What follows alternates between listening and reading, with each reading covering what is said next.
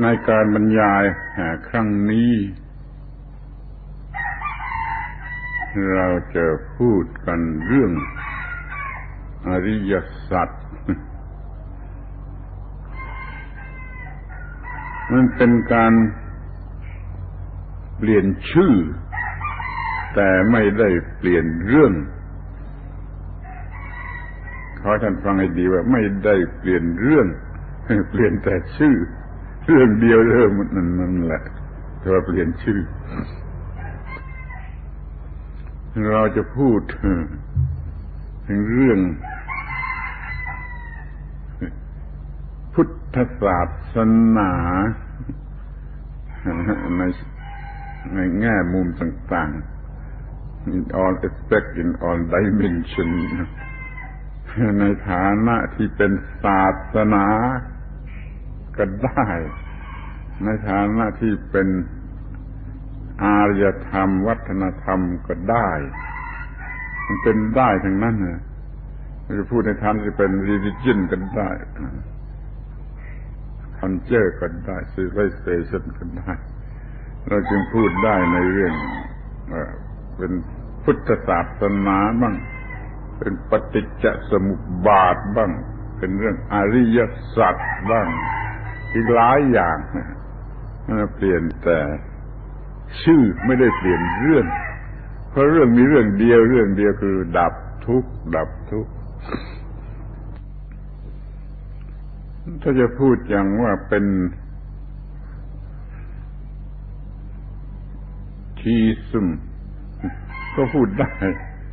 ก็เป็นวิธีที่จะเข้าไปถึงพระเจ้าอะ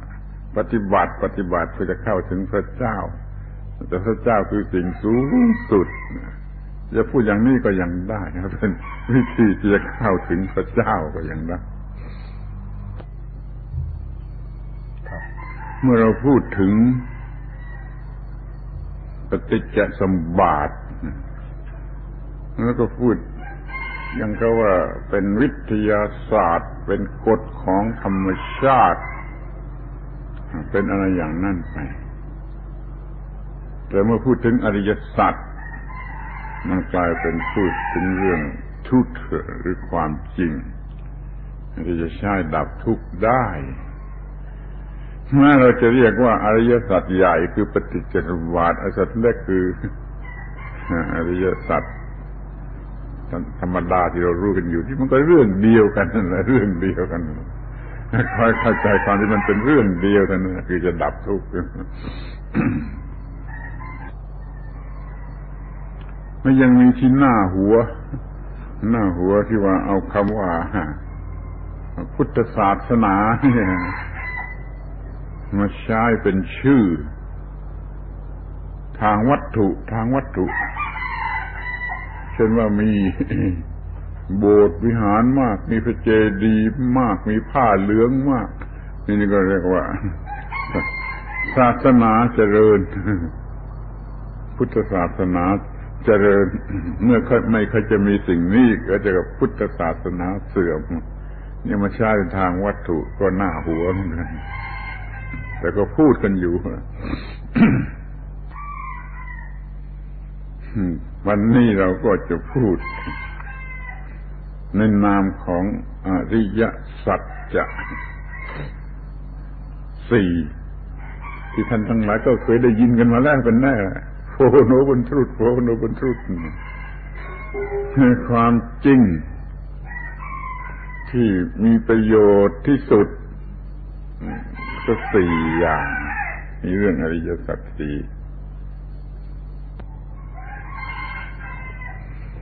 ก็ได้บอกท่านทั้งหลายแล้วว่า ถ้าพูดเป็นปฏิจจสมุปบาทนี่มันก็มีเรื่อง เรื่องมาก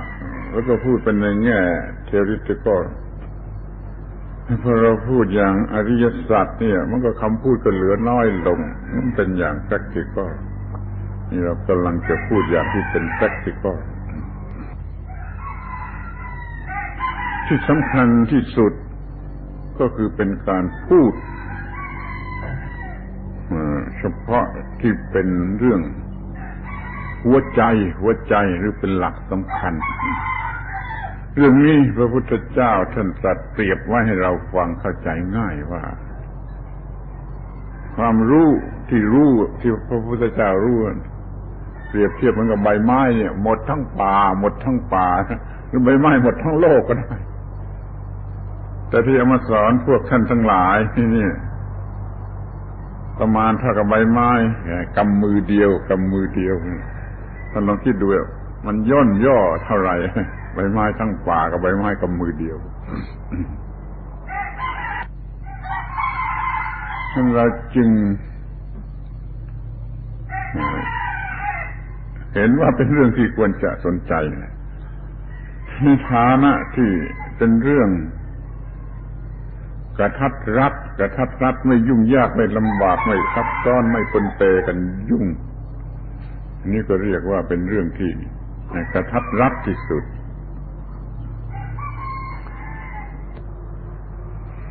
แต่ก็เพียงพอ เพียงพอเอติเคตไม่มากเกินไปไม่น้อยเกินไป แล้วก็เพียงพอแล้วก็พอดี พอดีนี่ใบไม้กับมือเดียว แต่แล้วก็เป็นสิ่งที่จำเป็นที่สุด ในบรรดาเซนเชนบีอิงทั้งหลายเนี่ยเรื่องนี้จำเป็นจำเป็นที่สุด ผู้ใดมีความทุกข์ผู้นั้นมีความจำเป็นที่สุดที่จะต้องรู้เรื่องอริยสัจอย่างนี้เราเรียกว่าเรื่องจำเป็น เรื่องจำเป็น อีกทางหนึ่งเราจะเรียกว่าเป็นแกนเป็นเอ็กซิส เป็นแกนของศีลธรรม ก็ได้ เป็นแกนของปรมัตถธรรมก็ได้ ทั้ง relative truth ทั้ง ultimate truth อันนี้เป็นแกน แล้วแต่เราจะพูดโดยภาษาคนหรือโดยภาษาธรรม เรื่องอริยสัจนี่จะเป็นแกนกลาง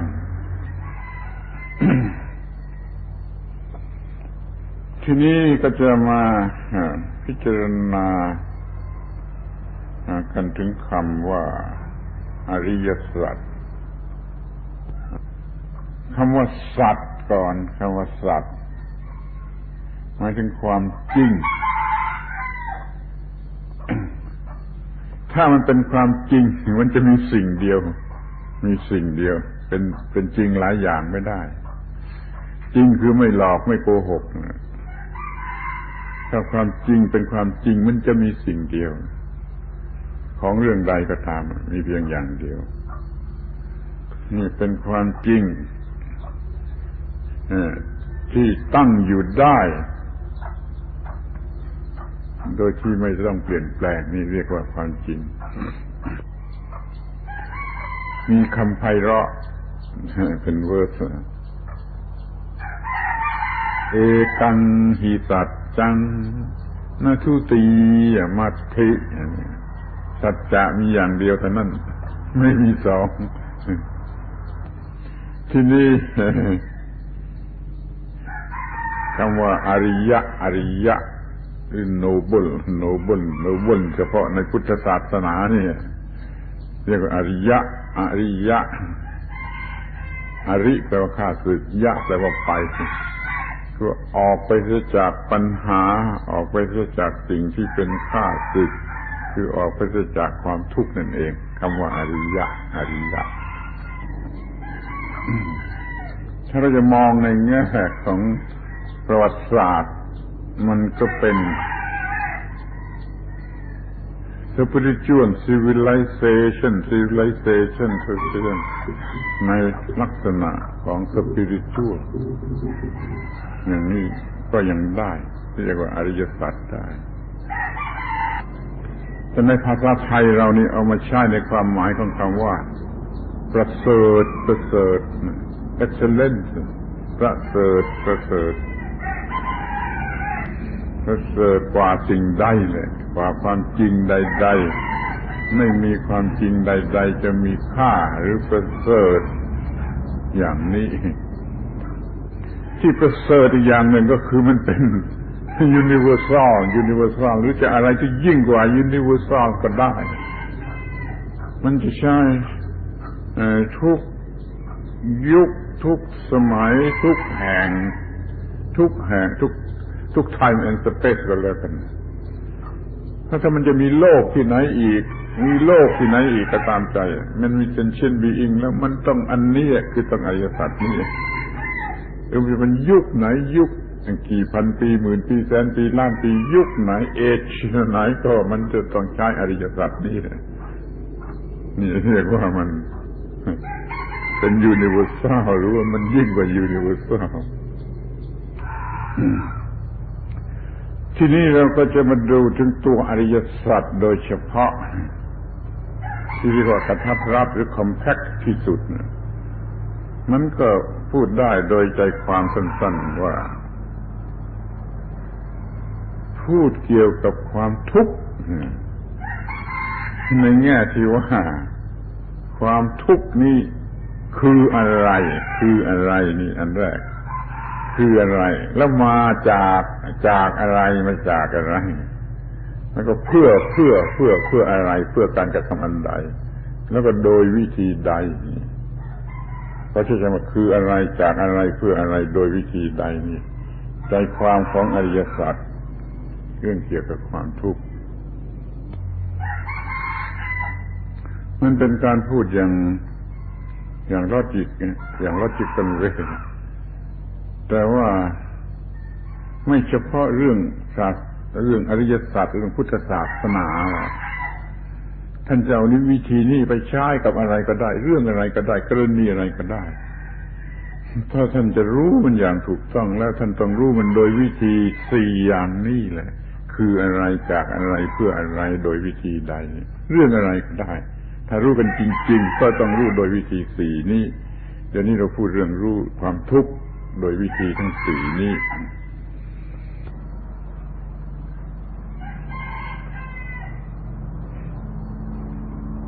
แต่เดี๋ยวนี้มันก็เป็นเรื่อง ทางจิต ทางวิญญาณ ทางสปิริตชัวโดยเฉพาะ แต่ถึงอย่างนั้นก็ไปใช้กับเรื่องทางวัตถุก็ได้ รู้ว่าความทุกข์คืออะไรก็ต้องเรียนอย่างเป็นสปิริตชัวคือว่าเรียนจากในใจ เรียนจาก spiritual experience มันก็เรียนเรื่องว่าคืออะไร นี่มาจากอะไรก็ไม่ต้องไปถามใคร ไม่ต้องไปถามใครอย่าไปถามใครหรือไม่ต้องอ่านในหนังสืออะไรบุกบุกดูว่ามันมันออกมาจากอะไร เมื่อมันเกิดขึ้นมันออกมาจากอะไร มันออกมาจากอะไร ในจิตใจของเราแล้วสิ่งนี้จะต้องทำอย่างไรกับมันก็จะต้องดับมันเสีย จะต้องดับมันเสีย แล้วก็รู้สึกว่า ถ้ามันมีอยู่เป็นทุกข์อย่างไร ถ้าไม่มีอยู่ดับไปแล้วเป็น ไม่มีทุกข์อย่างไรแล้วก็โดยวิธีใด มันก็ต้องเรื่องข้างในจิตใจกจัดต้องทำภายในจิตใจทั้งสี่ความหมายล้วนแต่ทำในจิตใจ ไม่ใช่เรื่องทางภายนอกจิตใจ นี่คืออริยสัจนั่นก็เป็นเรื่อง สปิชัวแต่ว่าหลักเกณฑ์อันนี้เอามาใช้ได้ทั่วไปแม้จะใช้กับเรื่องวัตถุล้วนๆวัตถุล้วนๆเช่นไมโครโฟนนี่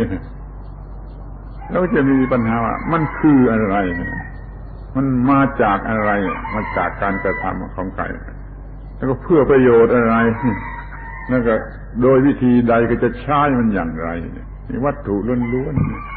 เราก็ยังมีปัญหาว่าคืออะไรจากอะไรเพื่ออะไรโดยวิธีใด ทีนี้เรื่องที่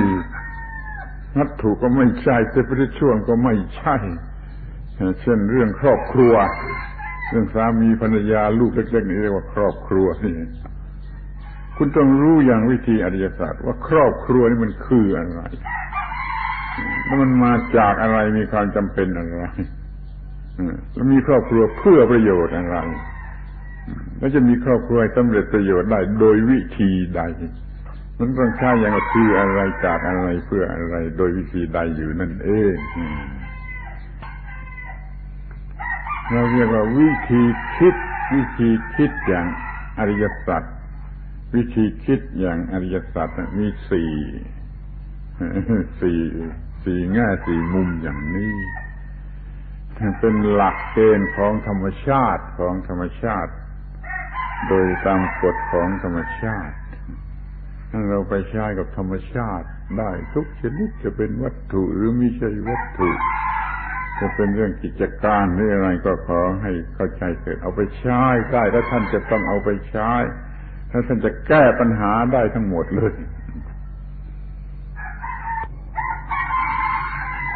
เมื่อเป็นดังนี้แล้วท่านจะเห็นได้เองว่า มันโนบลหรือไม่โนบลหรือมันมีอะไรโนบลยิ่งไปกว่านี้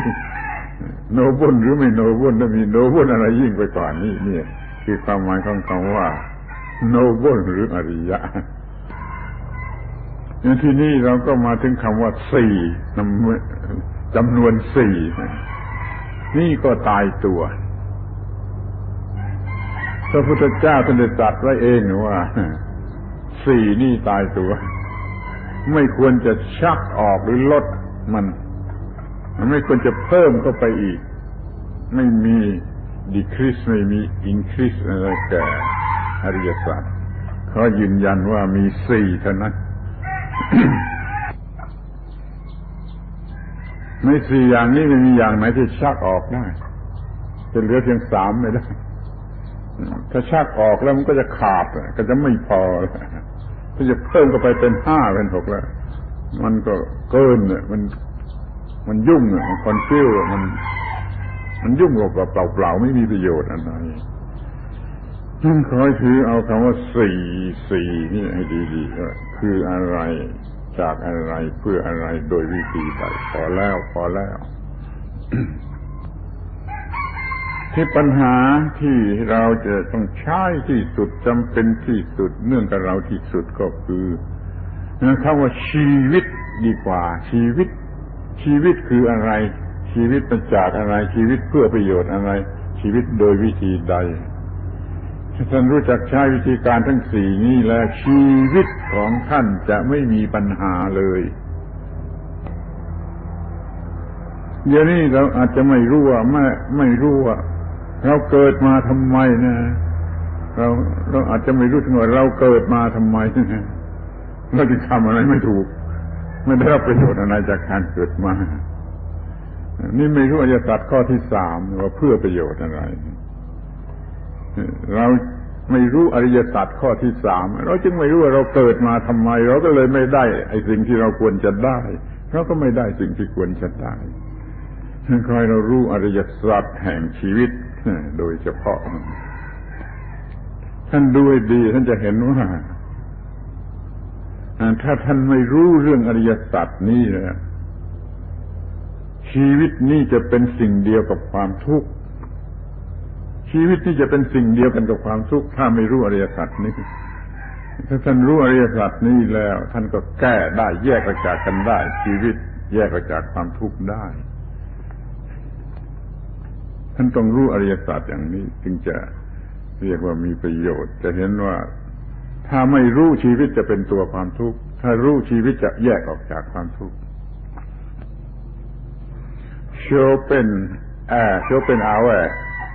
อะไรก็ไม่รู้ German philosopher คนนั้นเขาเข้าใจผิดเรื่องนี้เมื่อเขาได้ยินคำว่าชีวิตเป็นทุกข์ เขาเข้าใจผิด เขา จับพุทธศาสนาว่าเป็นศาสนาแห่ง pessimistic เป็น pessimistic view pessimistic ideaเป็นเพสิมิติกไปโดยส่วนเดียวเลยเนี่ยผิดผิดเรือประมาณผิดเรือประมาณ มันเป็นทุกข์ต่อเมื่อมันไม่รู้อริยสัจมันพุทธศาสนามีวิธีที่จะแยกความทุกข์ออกจากอริยสัจพุทธศาสนาไม่ใช่เพสซิมิติก แต่มีวิธีจะแก้ไขไอ้ความทุกข์แต่จะเรียก optimistic ก็ไม่ถูกเราก็ไม่หลงใหลใน optimist เราก็ไม่เป็น pessimist เราก็ไม่เป็น optimist เราเป็นความจริงของธรรมชาติอยู่ตรงกลางนี่เรียกว่าเป็นวิธีพิเศษ พูดถึงความทุกข์แล้วก็พูดถึงความดับทุกข์แล้วก็พูดถึงวิธีที่จะดับทุกข์ให้ได้ เนี่ยคุณอย่าเห็นว่าพุทธศาสนาเป็น pessimistic หรือ optimistic มันอยู่ตรงกลางกลางมันพูดถึงเรื่องความทุกข์แหละ การดับทุกข์วิธีดับความทุกข์นั่นจะได้ เพราะรู้อริยสัจเพราะมีอริยสัจนั่นเองเห็นดังนั้นท่านอย่ามองระบบอริยสัจเนี่ยว่าเป็น pessimistic หรือ optimistic ระบบอริยสัจอย่าถูกมองว่าเป็น pessimistic หรือoptimistic มันถูกมองว่ามันเป็นอยู่ตรงกลาง มันจึงแก้ปัญหาได้มันแก้ส่วนที่เป็น pessimistic ได้ มันเอาไอ้ส่วนที่เป็น optimistic มาได้ เพราะว่ามันอยู่ตรงกลาง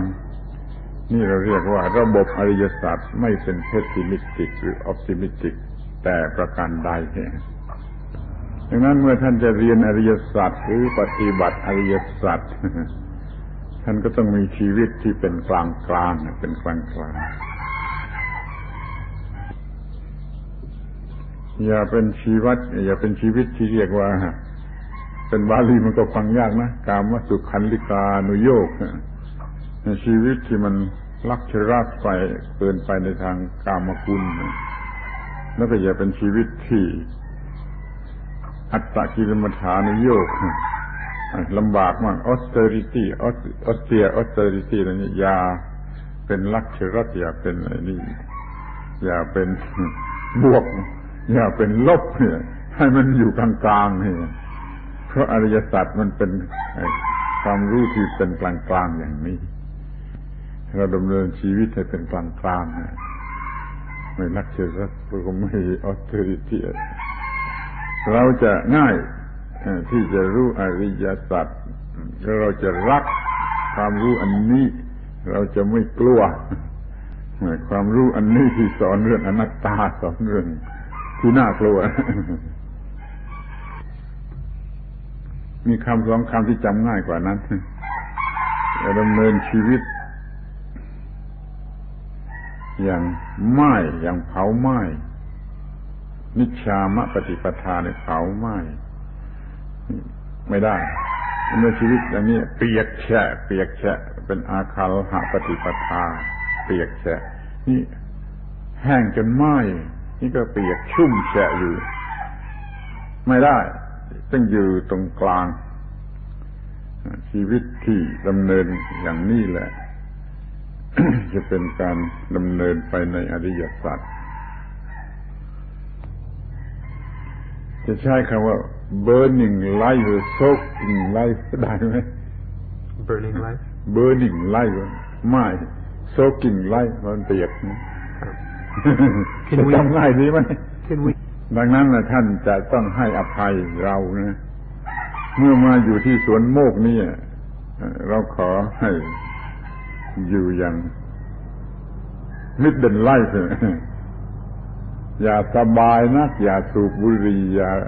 เห็นแก่การกินอร่อยอย่าเห็นแก่การไปเที่ยวอย่ามาต้องแต่งตัวอะไร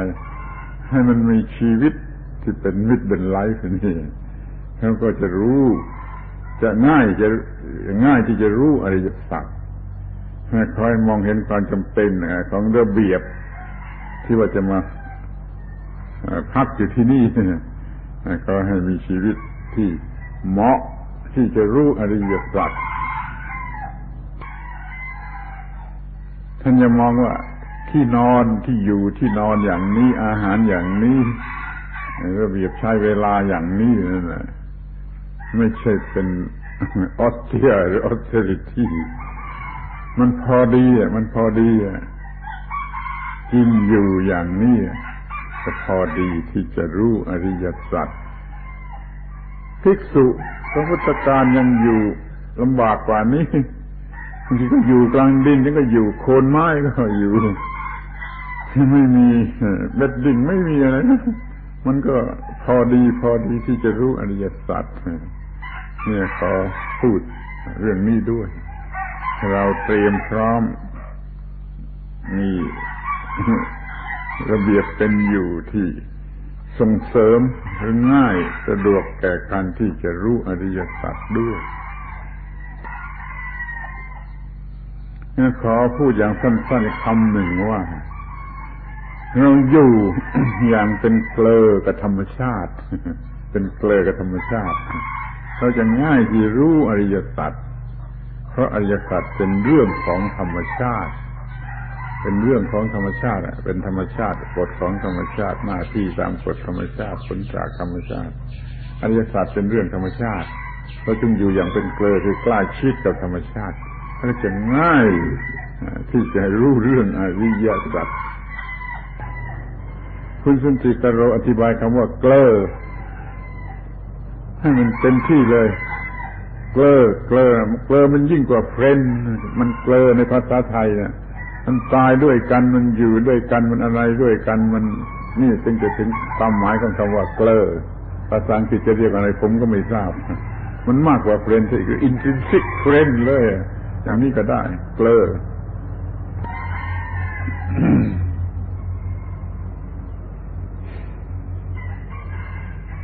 เราจะต้อง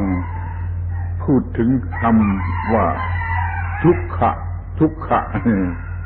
ให้เป็นที่เข้าใจตามตัวหนังสือแท้ๆทุทุนี่แปลว่ายากลำบาก แล้วก็ขะเนี่ย คือคำมะแปลว่าทน ทนทุเอนเดียก็คือทนยากทนยากนี่ก็เป็นความหมายหนึ่งว่ามัน ทนยาก ทนยาก ทนทนไม่ได้ต้องจัดการน่ะ ทนไม่ทนอยู่ไม่ได้ต้องจัดการต้องแก้ไขทุกขะ ทุกขะ โดยที่แท้ก็คือสิ่งที่มันทำให้เราต้องรักเกิลต้องสตรักเกิลต้องไฟต้องอะไรต่าง ๆ เนี่ยทนอยู่ไม่ได้นี่อาการอย่างนี้เรียกว่าทุกขะ ทีนี้คำหมายที่สองทุกก็แปลว่ายากหรือลำบากหรือน่าเกลียดน่าเกลียดกกปรกหรือน่าเกลียดอย่างนี้ก็มี ทุทุนี่แปลว่าน่าเกลียดตรงนี้ทีนี้คำว่า อิกขะอิกขะก็ดูเห็นดูเห็น ทุกับอิกขะมารวมกันเป็นทุกขะถ้าอย่างนี้ก็ว่า ถ้าเราดูและเห็นมันแล้วจะเห็นว่ามันน่าเกลียดมันน่าเกลียด ทุกขะคือสิ่งที่น่าเกลียดเราจึงทนอยู่ไม่ได้ เราก็ต้องแก้ไข มันเป็นสิ่งที่เราจะต้องเห็นชัดว่ามันน่าเกลียด มันอยู่ด้วยกันไม่ได้ เราจะต้องจัดการแก้ไข ถ้าท่านเห็นว่าความทุกข์เป็นของน่าเกลียด แล้วก็มีโอกาสที่จะดับทุกข์ แต่เดี๋ยวนี้ความทุกข์มันหลอก มันหลอกอยู่ในสภาพที่หลอก มันมีอะไรที่หลอกหลอกให้เห็นเป็นของน่ารักไปเสีย เราจึงมีปัญหาเราจึงไปรักไอ้สิ่งที่ความจริงมันเป็นทุกข์แล้วเราก็ได้เป็นทุกข์เป็นทุกข์เพราะเราไปรักไอ้สิ่งที่น่าเกลียดนะไม่น่าไม่น่ารักเป็นน่าเกลียดแต่เราไปไปรักเข้านี่ก็คือปัญหาที่จะต้องรู้ไว้สิ่งที่น่าเกลียด นะเช่นว่ายาเสพติดก็ดีการพนันก็ดี sex oversex ก็ดีนี่มันน่าเกลียดนะแต่เราก็ไม่เห็นว่าน่าเกลียด เราเห็นเป็นน่ารักหรือเป็นน่าพอใจไป อย่างนี้เรียกว่าเราไม่เห็นทุกข์เราไม่เห็นทุกข์ เราต้องศึกษาศึกษาจนเราเห็นว่าไอ้สิ่งที่เราหลงรักอยู่นั่นแหละ มันเป็นความทุกข์นี่ก็จะจะรู้จักความทุกข์แล้วก็จะเกลียดความทุกข์ขึ้นมาได้ เมื่อเราเด็กๆเราก็เคยได้ยิน เดี๋ยวนี้เราก็เคยได้ยินว่าถ้าเป็นฝรั่งเป็นฝรั่งแล้วต้องกินเหล้าวิสกี้หรือบรันดี เป็นฝรั่งต้องกินเหล้าเป็นฝรั่งต้องชอบลักเจรัสไลฟ์ นี่เราก็สงสัยอยู่กันว่าทำไมจึงต้องเป็นอย่างนั้นทำไมจึงต้องดูที่น่าเกลียดมาเป็นของน่ารัก ถ้ามันเป็นอย่างนี้จริงก็รีบมองเราศึกษากันเสียใหม่เลย ให้เห็นสิ่งที่น่าเกลียดเป็นสิ่งที่น่าเกลียด อย่าไปรักสิ่งที่น่าเกลียด จิตใจก็จะพร้อมเรียบดีที่จะศึกษาอริยสัจแหละ เราจะต้องเห็นตามที่เป็นจริงว่าไอ้ลักชรัสไล่เนี่ยมันน่าเกลียดที่สุด น่าเกลียดที่สุดแต่มันเป็นความลับนะแล้วมันหลอกมันโกหกเราด้วย มันน่าเกลียดน่าเกลียด แต่เราก็เห็นว่าน่ารักน่ารักนี่จะต้องไปจัดการกันเสียใหม่เถอะเกี่ยวกับที่จะศึกษาเรื่องอริยสัจทีนี้ความหมายที่สาม ขออีกความหมายหนึ่งความหมายที่สามทุทุนั่นก็ว่าน่าเกลียดน่าเกลียดน่ารังเกียจแล้วขะขะนี่แปลว่าว่าง ว่าง empty ว่างจากสาระว่างจากคุณประโยชน์อย่างที่ว่างที่ว่างเนี่ย ภาษาบาลีก็เรียกว่าขะหรือขังเรียกเต็มที่ก็เรียกขังขังขะ ว่างว่าง ทุกกับขะรวมกันเป็นทุกขะมันว่างอย่างน่าเกลียด ว่างจากเอเซนส์ว่างจากเบนฟิตว่างจากสาระแก่นสารนี่ก็เรียกสิ่งที่ร้ายสาระ ไม่น่าปรารถนาไม่พึงปรารถนาอย่างยิ่งว่า ทุกขะด้วยเหมือนกัน ความหมายที่หนึ่งทนยากความหมายที่สองดูแล้วน่าเกลียด ความหมายที่สามว่า ว่างจากสาระ essential จริงว่างจากสาระ ความหมายที่หนึ่งมีในบาลีในพุทธภาษิตนะความหมายสองทีหลังที่สองที่สามสองอย่างที่หลังในอัตถกถา แต่ก็มีประโยชน์เหมือนกันเราถือเอาทั้งสามความหมายเถิดแล้วเราก็จะได้ความหมายของคำว่าทุกขะโดยสมบูรณ์ สรุปความแล้วก็ คือสิ่งที่มันทำลาย peacefulness สิ่งที่ทำลายสันติสุขของเรา มันเป็นสิ่งที่ทำลายสันติสุขของเรา มันทำให้เราทนอยู่ไม่ได้ ต้องลุกขึ้นต่อสู้ คือทำให้เกิดปัญหา มันก็คือสิ่งที่เป็นตัวปัญหาเนี่ยสิ่งที่ทำลายสันติสุขสันติภาพของเราทำให้มีปัญหาตลอดเวลานี่ แล้วเราก็ทนอยู่ไม่ได้ ทนอยู่ไม่ได้ต้องต่อสู้ต้องต่อสู้ นั่นคือความหมายของสิ่งของสิ่งที่เรียกว่า ทุกทุกขะทุกขะทีนี้ก็มาถึงปัญหาที่ว่าเราจะมีเทอมเทคนิคเทอมใช้กับคำว่าทุกขานี่อย่างไรดี ในภาษาไทยไม่เป็นปัญหา เราไม่แปลเราไม่แปล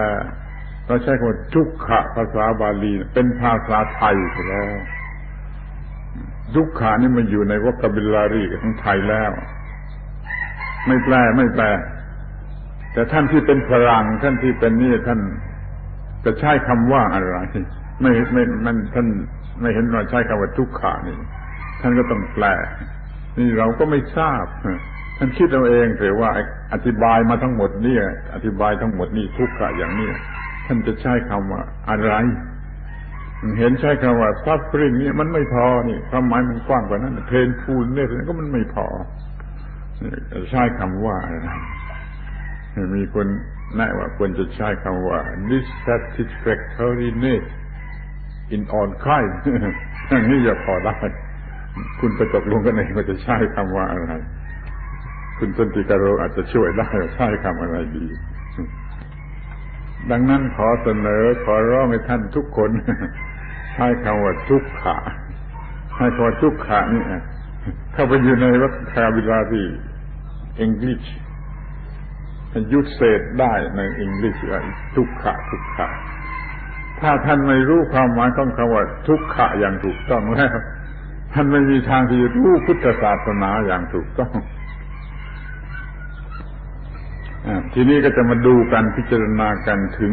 ไอ้ตัว ตัวตัว the body ตัวทุกขะที่แรกเราจะมองไปยังสิ่งที่เรียกว่า ปัญหาปัญหา ปัญหานี่ก็เหมือนกันก็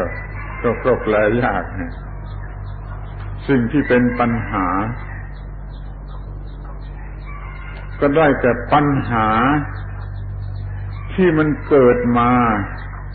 จากความเกิดความแก่ความเจ็บความตายสี่อย่างนี้ ซึ่งจะมีแก่ทุกๆเป็นเช่นบีอีก ปัญหาใด ๆ เกิดมาจากความเกิดความแก่ความเจ็บความตายแล้วก็เรียกว่า ความทุกข์นี่ทุกข์ในความหมายที่ว่าทนยาก เราชี้ไปที่ตัวปัญหาปัญหา เมื่อเราพูดถึงความเกิดความเกิด มันก็คือตัว existence นั่นแหละ existence ภาวะ existence นั่นแหละถ้าเรามีความเกิดเรามี existence อยู่เนี่ยปัญหาต่าง ๆ มันเกิดมาจากการที่เราเกิดอยู่เนี่ย เราต้องกินเราต้องใช้เราต้อง นุ่งห่มเราต้องอาศัยเราต้องแก้โรคปัญหาทุกอย่าง มันมีมาจากการที่เรามี existence อยู่นั่นนี่ความทุกข์ท่านไปดูดูดูเองอย่าเชื่อใคร อย่าเชื่อใครพูดไม่ต้องเชื่อการที่จะต่อสู้เพื่อจะดำรงชีวิตอยู่นี่มันก็เป็นตัวปัญหา นี่เป็นความยากที่จะทนเหมือนกันก็เป็นความทุกข์ที่นี้ความแก่ โดยความหมายก็คือไม่เที่ยง impermanent ไหลเรื่อย flowing flux flowing ไหลเรื่อยไหลเรื่อยเนี่ยเรียกว่าไม่เที่ยง ไม่เที่ยงเพราะมันเปลี่ยนแปลงเรื่อยเนี่ย มันจึงเกิดอาการที่ยุ่งยากลำบากเป็นปัญหาที่ต้องทน เพราะมันไม่เที่ยงเพราะมันไหลเรื่อยเนี่ยมันทำให้เกิดปัญหาแก่เราแล้วเราก็จะรู้สึกว่าทนยากและเป็นทุกข์เพราะว่ามันแก่แก่แก่เราแก่มาตั้งแต่ออกมาจากท้องมันดานี่คือมันไหลเรื่อยไหลเรื่อย มันจึงเป็นความทุกข์ เพราะความแก่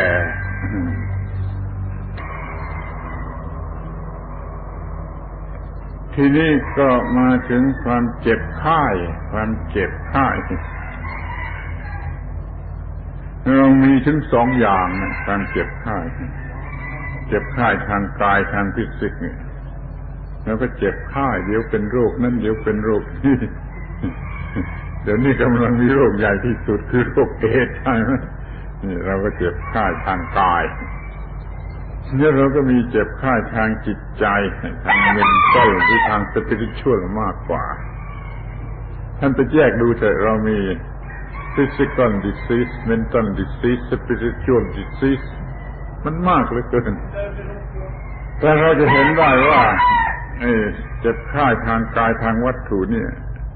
นานๆจะมีสักทีนึง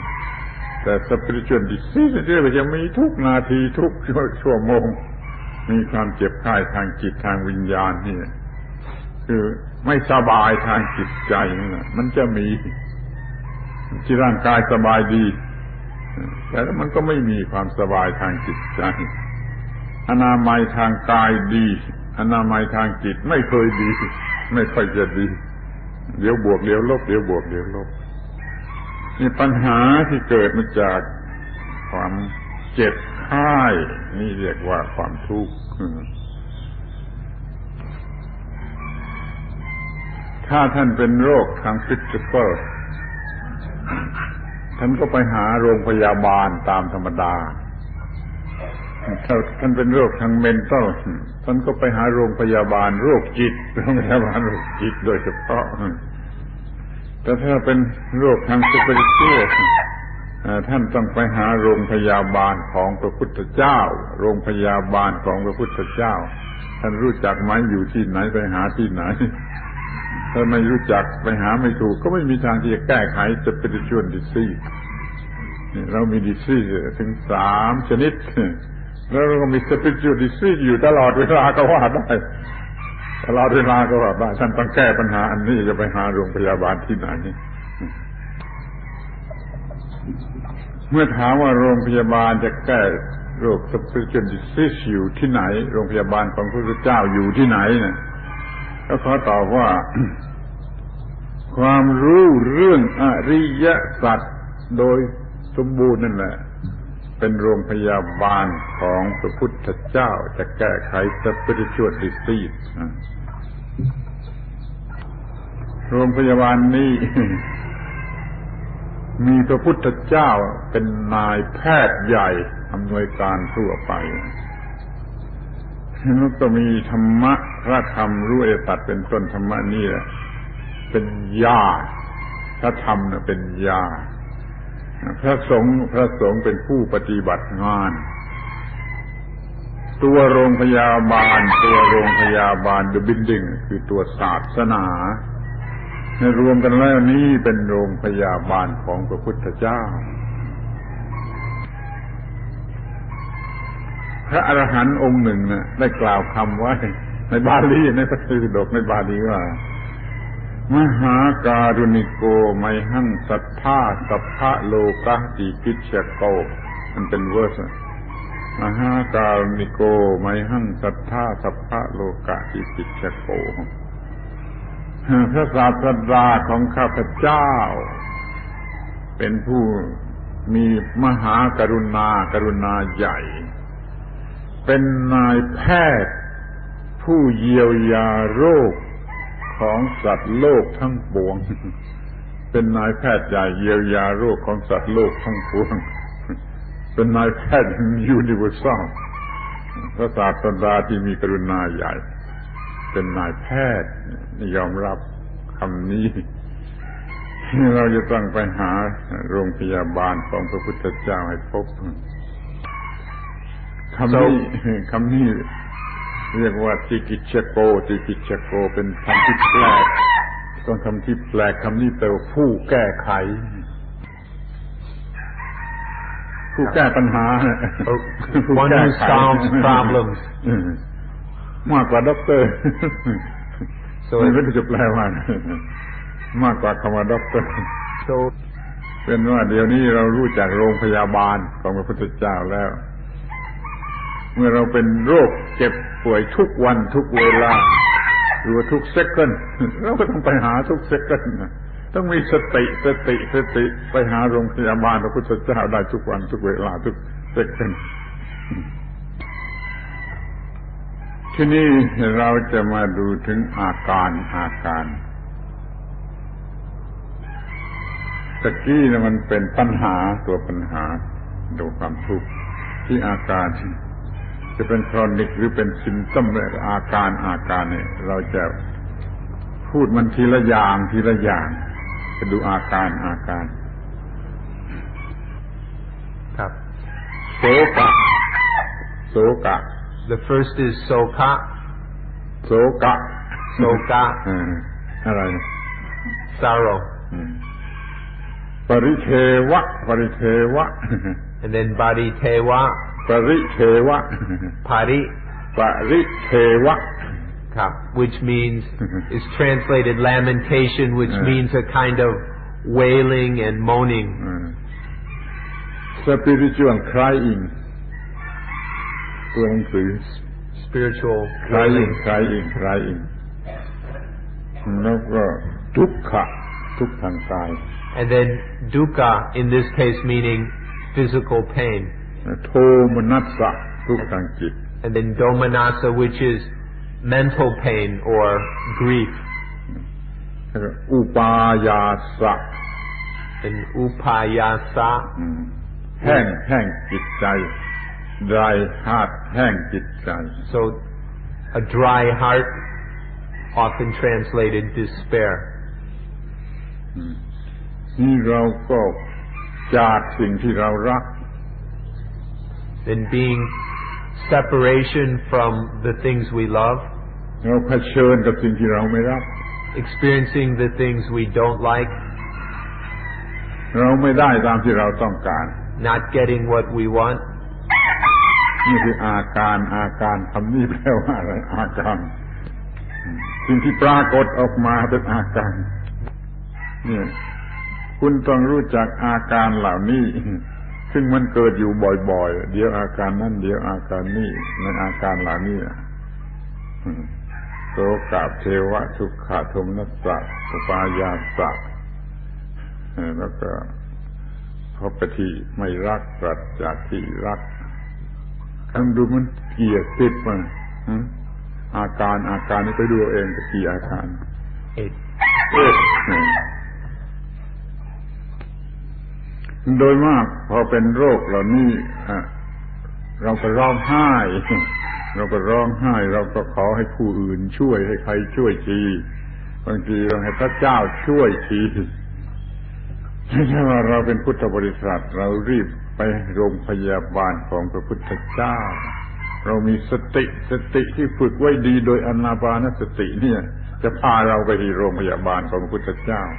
คือไปสู่ความรู้เรื่องอริยสัจโดยสมบูรณ์ แล้วก็มีความรู้เรื่องอริยสัจทั้งสี่โดยบริบูรณ์นี่เป็นโรงพยาบาล ทีนี้เราจะสรุปความว่าความทุกข์ทั้งหมดอย่างไหนอย่างไหนก็ตามเนี่ยมันรวมอยู่ที่อุปาทาน ในขันทั้งห้า โดยชื่อเรียกว่า ปัญจุปาทานักขันธาทุกขา ความทุกข์สรุปรวมทั้งหมดในอุปาทาน ในขันธ์ทั้งห้า ต้องขอโอกาสพูดนะ ไม่ใช่ดูถูกนะไม่ใช่ดูหมิ่นนะว่าเดี๋ยวนี้เราไม่ค่อยจะรู้จักขันธ์ห้าเราก็ไม่รู้จักขันธ์ห้า แล้วเราก็ไม่รู้จัก attachment ในขันธ์ห้า เราไม่รู้จักตัวเราเอง บางเวลาเรา attach ในรูปขัน บางเวลาเราก็ attach ในสัญญาขัน บางเวลา attach ในในเวทนาขัน ในสัญญาขัน ในสังขารขัน ในวิญญาณขัน ดูให้ดีๆ ดูให้ดีๆ เรากำลัง attach ในอะไร ถ้าเราไม่เห็นเราไม่รู้จักความทุกข์หรอกถ้าเราไม่มี ขันทั้งห้าแล้ว สิ่งเหล่านี้มันเกิดไม่ได้ ความทุกข์เกิดไม่ได้ความทุกข์มันเกิดที่ขันห้าที่ถูก attach ถ้าเราไม่ attach ขันทั้งห้าหรือขันใดขันหนึ่งหรือทั้งห้าว่าเป็นตัวเราหรือว่าเป็นของเราแล้ว ไอ้ความเกิดความแก่ความเจ็บความตายเหล่านั้นก็เป็นของขันห้าก็เป็นของขันห้าไม่ใช่ของเรา ไม่มีปัญหาแก่เรา เพราะเรา attach ขันห้าเป็นเราเป็นตัวเราเป็นของเรา ความเกิดแก่เจ็บตายของขันห้าก็มาเป็นของเรา ความทุกข์ก็เกิดแก่เราคือจิตโง่ จิตโง่ทีนี้อาการอาการของทุกข์ กะเทวะทุกขะโทมนัสอุปายาตทั้งหมดทั้งนั้นมันก็เป็นอาการของขันห้า ถ้าเราไม่เอามา ไม่เอาขันห้ามาเป็นของเรา อาการเหล่านั้นก็เป็นของขันห้า ไม่มาปรากฏแก่เราไม่ตอเม่นเราแม้แต่ประการใด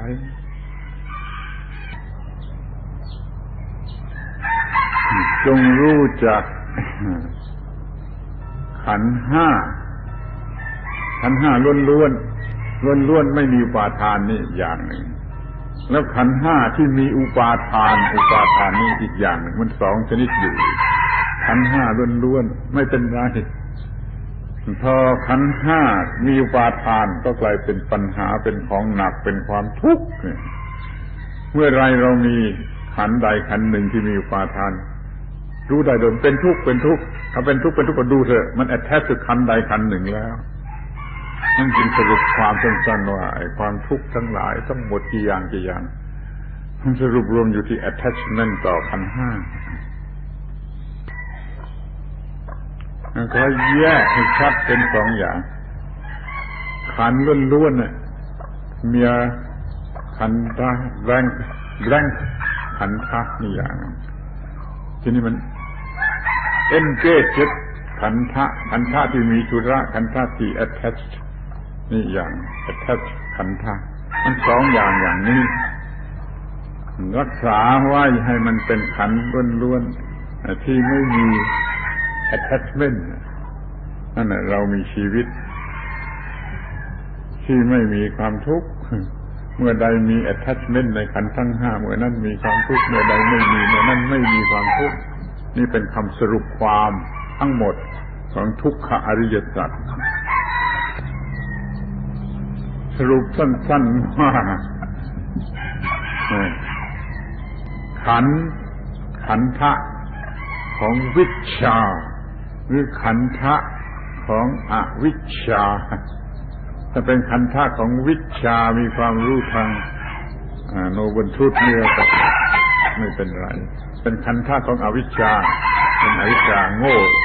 โนบุญทุตนี่แหละต้องเป็นทุกข์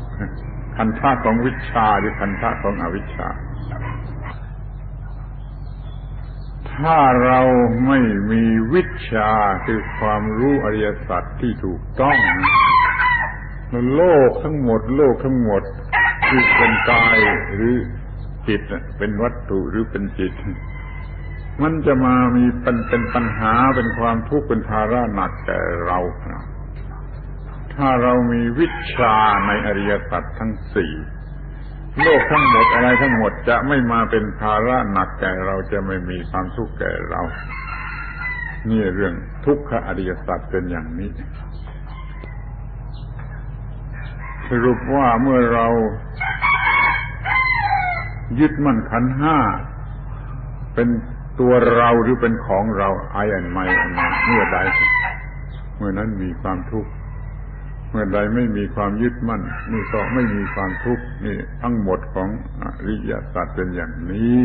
เวลาหมดแล้วขอยุติการบรรยายวันนี้